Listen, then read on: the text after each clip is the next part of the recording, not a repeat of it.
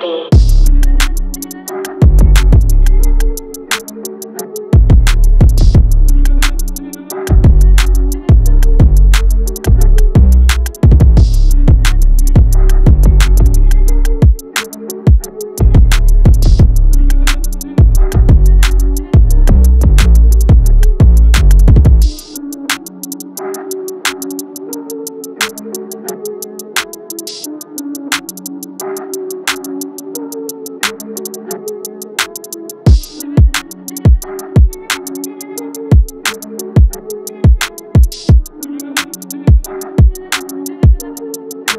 Take back that.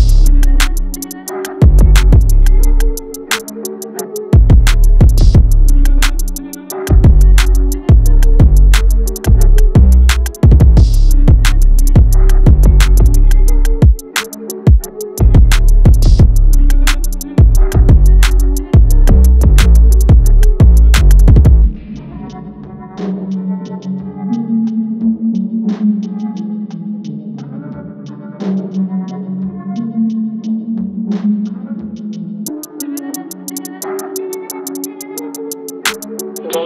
Murphy.